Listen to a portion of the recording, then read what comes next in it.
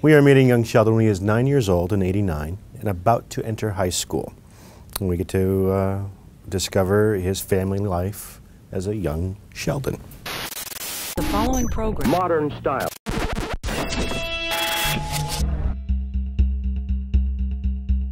I play his father, George Sr., George Cooper Sr. I play Mary Cooper, his mother.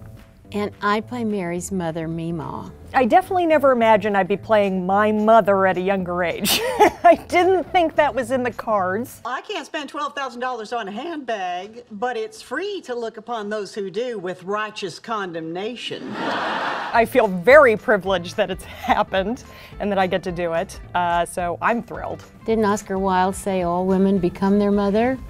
It's happening sooner rather than later. I definitely called her up as soon as I knew that there was an audition in place. We were very excited. Her really great advice was just that, you know, the comedy's there, obviously. Chuck and Steve are so brilliant with that. And she said, just, you know, keep, as long as you ground it, in reality, you're, you're golden. So that's kind of been the aim from day one. I appeared on Big Bang Theory a number of years ago as uh, Jimmy Speckerman, uh, Leonard's high school bully. I think that we'll have to uh, ask the fans of the show to suspend some disbelief.